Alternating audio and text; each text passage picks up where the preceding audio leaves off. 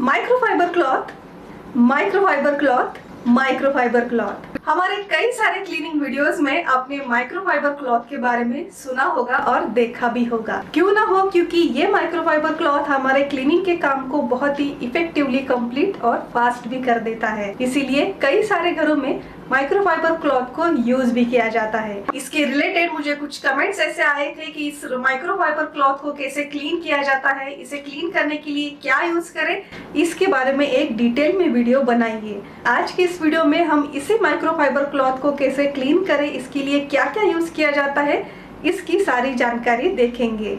तो चलिए, बिना देर किए शुरू करते हैं आज का ये वीडियो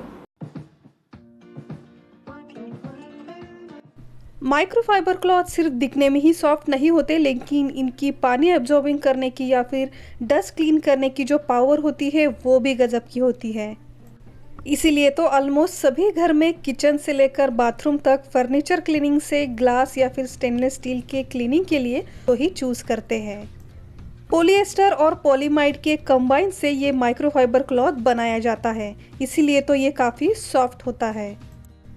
कुछ दिनों के यूज़ के बाद आपने देखा होगा कि काफ़ी सॉफ्ट लगने वाले ये माइक्रोफाइबर क्लॉथ हार्ड लगने लगते हैं। और इसका एक ही रीज़न होता है कि आप उसे ठीक से क्लीन नहीं कर रहे या फिर इसकी प्रॉपर केयर नहीं कर रहे तो चलिए देखते हैं इसकी प्रॉपर क्लीनिंग और केयर हम कैसे कर सकते हैं।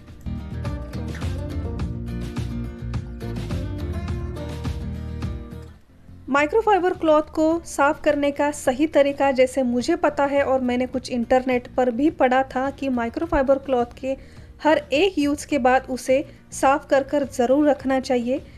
हर एक यूज़ के बाद जो भी धूल या फिर कचरा वगैरह माइक्रोफाइबर क्लॉथ पे चिपका होता है, सबसे पहले इस जो ड्राई सूखा कचरा है उसे बाहर किसी स्पेस पे या फिर डस्टबिन बैग में इस तरीके से आप सूखा ही झाड़ ले। इससे इसके ऊपर जो भी चिपकी हुई धूल है, ये इजीली सेपरेट हो जाएगी और बाद में जब इसे हम गीला करेंगे, वो उस पर भी चिपकी नहीं रहेगी इजीली साफ़ भी हो जाएगी।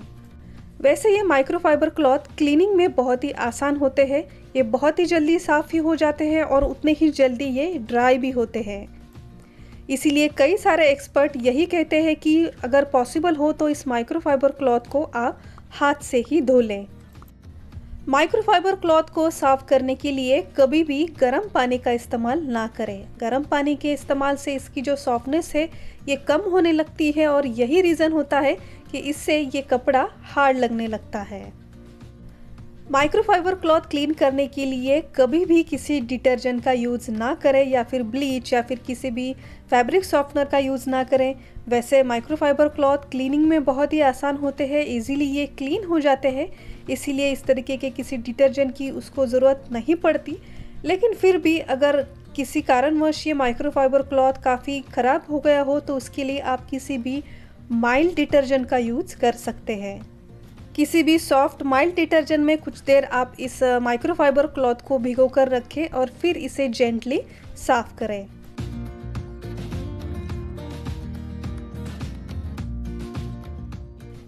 वैसे तो माइक्रोफाइबर क्लॉथ हाथ से धोना यही सही तरीका है, लेकिन अगर पॉसिबल ना हो और आपको इसे मशीन वॉश करना हो तो आप सेपरेट इसे मशीन वॉश करें। बाकी के कपड़ों के साथ इसे कभी ना धोएँ, क्योंकि इसके ऊपर जो भी धूल या फिर जो भी गंदगी होती है, वो निकल कर हमारे रोज के कपड़ों पर लग सकती है। इसीलिए जब पॉसिबल हो तो सभी माइक्रोफाइबर क्लॉथ एक साथ कलेक्ट करके एक ही बार में आप इन माइक्रोफाइबर क्लॉथ को मशीन वॉश कर सकते हो। इसे वॉश करने के बाद प्रॉपर धूप में आप इसे ज़रूर सुखाएँ या फिर अगर आप इसे घर में ही कहीं सुखाने वाले हो तो जहाँ पे प्रॉपर हवा आती जाती हो, ऐसे ही जगह पर उसे सुखाने के लिए रख दें।